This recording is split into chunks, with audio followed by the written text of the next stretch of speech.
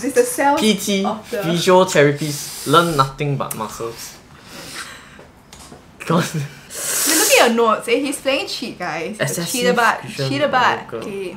Hey everyone! Welcome back to part 2 of Who Knows Better. Eh, yeah, so do it with me. Part 2. Yeah, of Who Knows Better.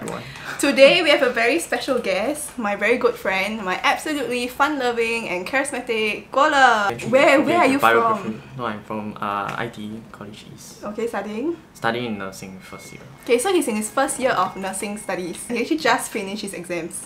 So if you guys haven't haven't watched part one, please go and watch it below. And if you have haven't yet subscribed, please subscribe to my channel. Okay, I'll be asking him ten physio questions, and then he'll be asking me back ten nursing questions. Okay, a perfect answer is four marks, which is exactly what you wanted. Spot on. Three marks is the answer is somewhat close to what you wanted. Two marks is the answer is missing some details but some are still correct. One mark is answer is partially wrong, and zero means it's totally wrong or you didn't answer at all. The first question is, what is the difference between an ankle sprain and an ankle strain? It's the muscle, you know. 扭到啊, what? 扭到. So what does it mean? In Chinese. No, in English. Why? Oh, you changed channel already. This, This one one is in- channel 5, not channel 8. Strain is due to prolonged usage and the wearing of muscles. Right? Wearing of muscle, okay. okay. Sprain is uh the muscle deform. muscle. deform. the correct answer is ankle strain has got to do with the uh, injury to the tendon or the muscle, and ankle sprain is an injury to the ligament. You know the difference between tendon and ligament? Ligament is the bone to bone. Correct. Tendon is the muscle to bone. Yeah, exactly. I'm gonna give you a two. What two? Two marks. A patient developed sharp pain over the back and chills 15 minutes into blood transfusion. He's like likely experiencing an Wait, what? So how with blood with chills? And yeah, uh, sharp pain over back. The lower back. Sharp pain over the lower back. And over the back lah. He's having an infection. Into blood transfusion, yeah. Local and systemic, you know, like in in blood transfusion. Okay, your second question is name two connective tissues in the body. Connective tissue, muscle, blood. Blood, correct. Yeah, I learned before. Wait, muscle. No, wait, wait. Muscle is is is muscle connective tissue? yeah, connect. the bone. Bone, Bone. is a connective tissue. Yeah. Muscle is a tissue on its own. Muscular tissue. I'm not sure if muscle is a connective tissue because what I know is connective tissue is blood, cartilage, um, bones. But muscle is a kind of different kind of tissue. That is what I learned. So comment down below if you guys know, okay, if muscle is considered a connective tissue. A wound should be cleansed from. Dot dot dot. A wound should be cleansed from dot dot dot. yeah, the action of clean cleansing a wound should be from. Okay, okay. From outside to inside. You should clean it from outside to inside. Correct? You should try not to touch the. Oh, I shouldn't try to touch the wound. That's a trick question, man. So you're not supposed to touch the wound when you clean. Purpose of cleansing of cleansing a wound should be from. From. From? Eh, eh. I forgot. The principle of cleansing a wound should From be from clean to dirty. From clean to dirty. In that sense, it should be Oh. top to bottom. Oh. So for example, I got wound here. You should clean from the top to the bottom. That's correct. Oh, interesting. Okay. Principles. Technically, you help me answer the question. Thank you. We're eating the He gave power. me a little teaser, guys. A little teaser of what his questions will be. But it's still so difficult. Number three. What is the biggest muscle in the body? Biggest muscle. Mm. Take a guess. Okay, okay. Gluteus maximus. Wow! No. ah. Gluteus, right? Gluteus. gluteus. Maximus. Gluteus. Okay, where is your gluteus maximus? Your ass. Correct! Eh, really, man, biggest. Very ah? good. Yeah, that's the biggest muscle. Only muscle I know. Oh, legit. That's the only muscle you know. The only muscle I know. I'm the, to test the you another. medical, I'm going to test you another muscle. medical term. Wait, Okay. wait for it. Since you zero point all the way. Hey, I got two points. My first question was two points. Okay, his question is so difficult, guys. Uh, so what's the term we use? What's the medical term we use for elevation of blood pressure? Hypertension. Chronically, uh, chronic. Chronic hypertension. No, I mean Oh, hyper- oh, you mean chronic high blood pressure? ah, elevation of blood pressure would be known as hypertension. Yeah. Okay, question number four. COM or COG which is known as center of mass or center of gravity, is a point around which the mass and weight of the body are balanced in all directions.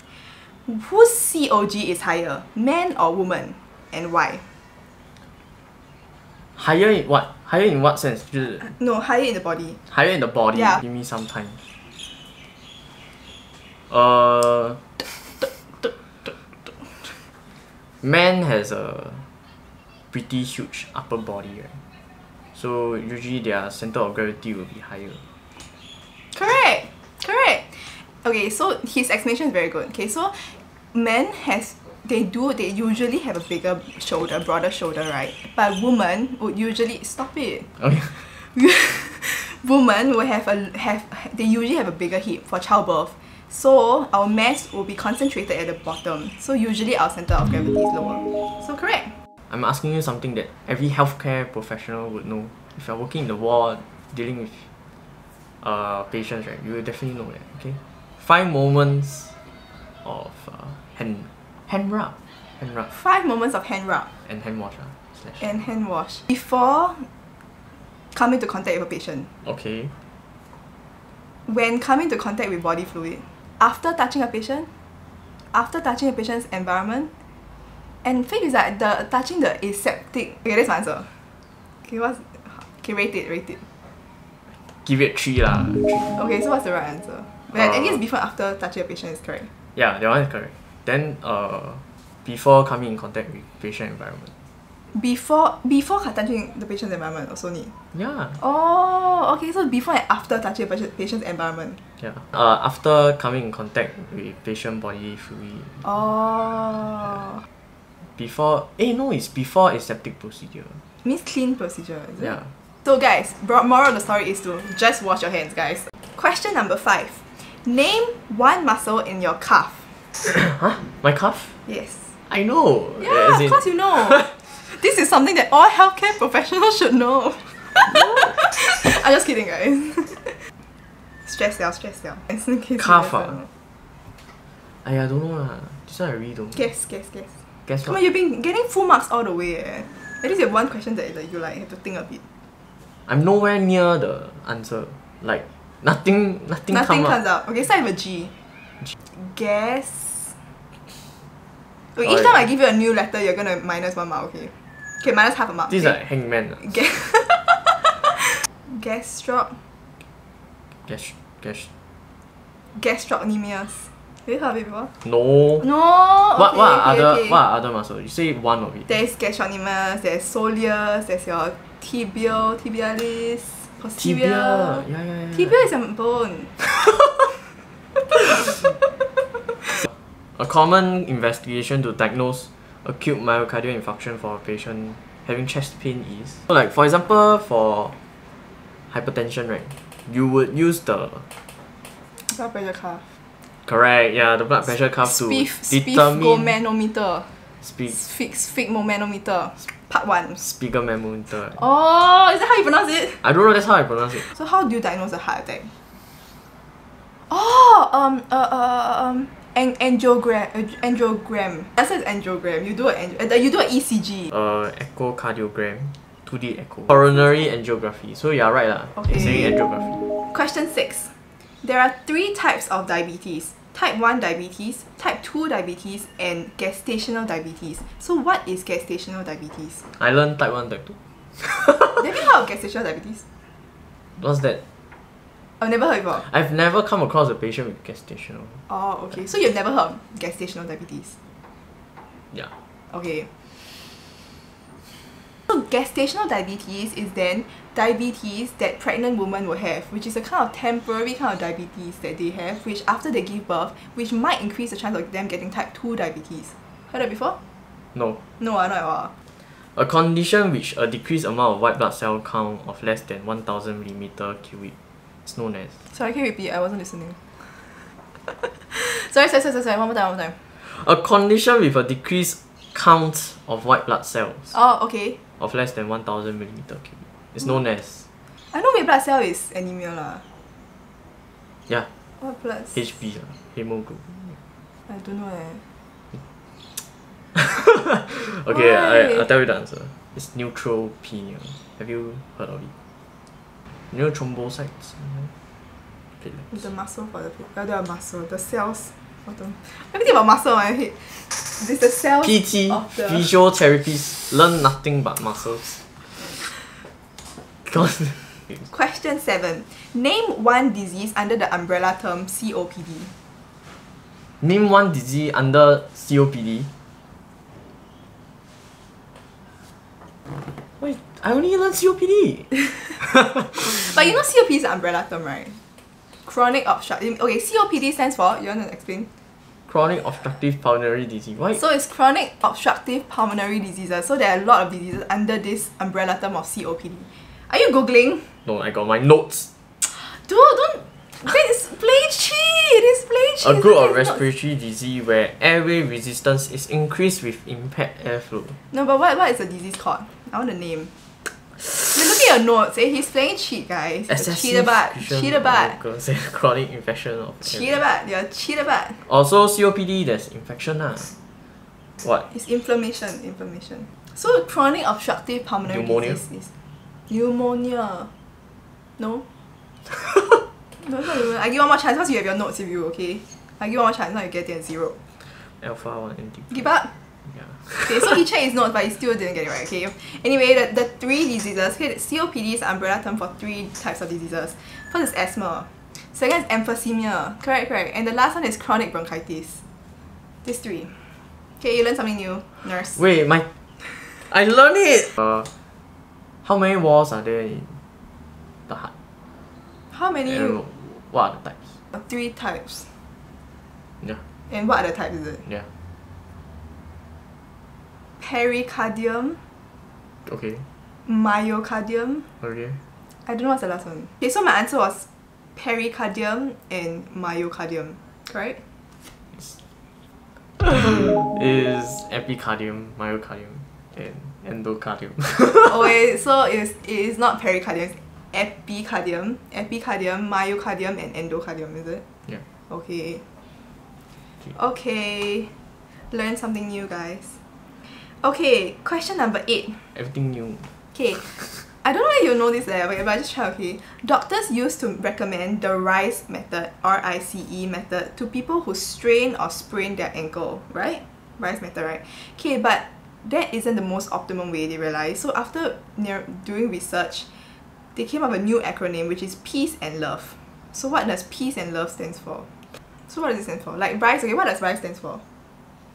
Uh. Base. Ah, the R is what? Rest. Rest. Then the eyes. Then C, uh, compassion. Then elevation. Yeah, correct. Okay, so peace and love, leh? Try, try, try. Based on your knowledge of rice, what does peace and love stands for? If you guys know, please comment down below, okay? What does peace and love stands for? L stand for lie down. Lie down, okay? Uh. So- hey, you test me so the person has sustained an arm injury, you ask them to lie down, is it? really hard stuff. Sprain their ankle. Ankle what? Okay, okay, okay, okay, L, lie down, okay? This is Guala's version, okay? It's Guala's version of peace and love. O. O is what? Uh. Oh, you know what? I'll just give you an answer, okay? Yes. Okay. Please do. Okay, peace and love. Peace, P. P is protect, protect the injury, okay?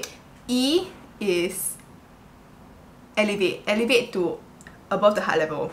Okay, A is actually avoid anti-inflammatories, which actually include icing, because icing is an in, is an anti-inflammatory method. The normal amount of inflammation in the body is necessary for muscle injury recovery. So you want some inflammation, so you want to avoid anti-inflammatories. That's what that is why that rice method was obsolete. Okay, so A is avoid anti-inflammatories. C is compression. Now you say compression, and the last E is education. So go to your doctor or go to your therapist. Okay, then love. So after you have done the immediate care for your injuries, then you come to love. Okay, so love means L load. You want to start loading your injury, okay, to get to strengthen it. Then O is optimism. So it's to stay optimistic though you have an injury. V is vascularization. So you want to do exercises that actually still help the blood circulation. And the last E is exercise. Sorry. that, that came out a bit slowly, but it's exercise. Last E is exercise. So you got your peace and love, guys. So, Patient had a fracture, uh, had fracture his ankle, and has been lying in bed for the past five days. He is at risk of developing Bed sore. true, true lah, but something related to the fracture. So he fractured his ankle but and he's lying in bed for five days. So he has not attended to his fracture. yeah, Oh, oh, okay. Uh, internal bleeding.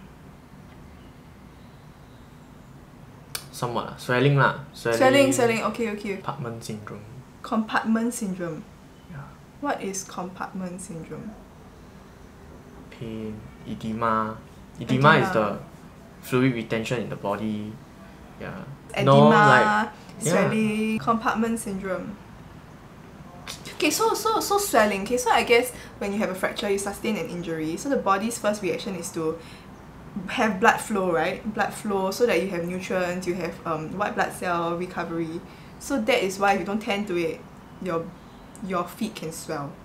Okay, Is it a last really? second last question nine.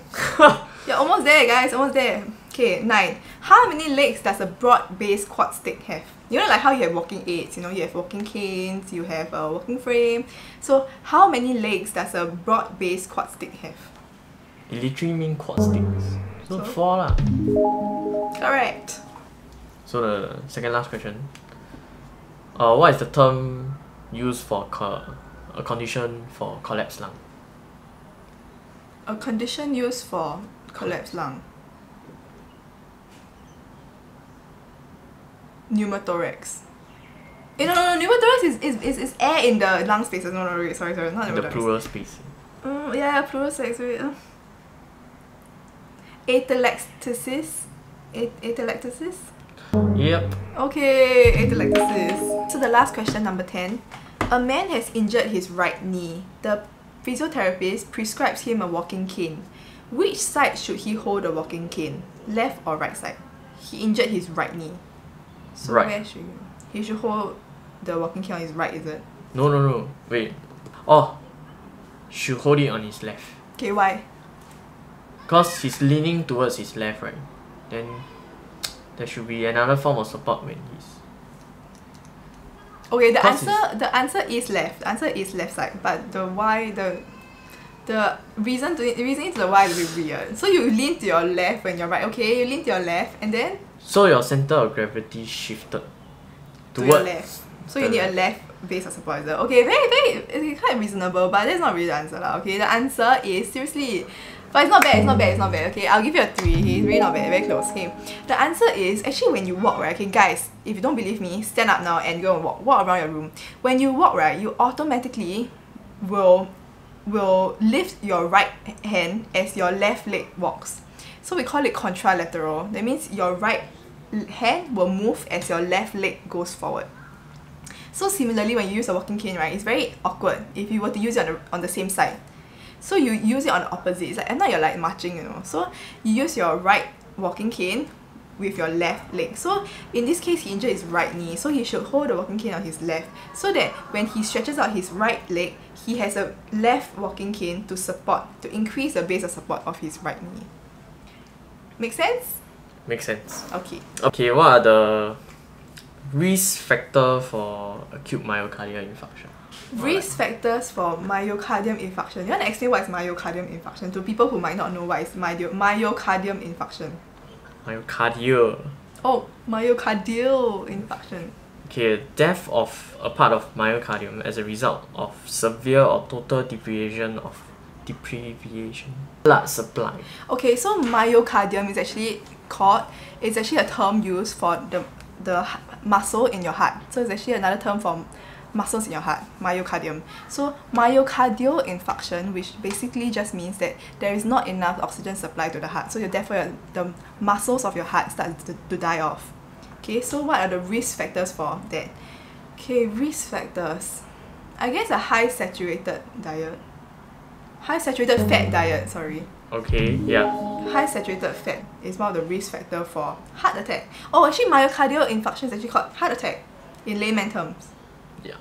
So even though your heart actually has blood vessels that travels away from the heart to the rest of the body, right? Your heart also has blood vessels to sustain the heart with oxygen and nutrients. So this is when if it gets blocked, then there's no oxygen to enter the heart. Then we call it a heart attack. Diet. Okay, we have come to the end of say it together. Of what? Who knows better? Okay. I know better. Okay. So we have come to the end of Who Knows Better Part 2. Thanks for watching guys. See you. Bye bye. Whoosh.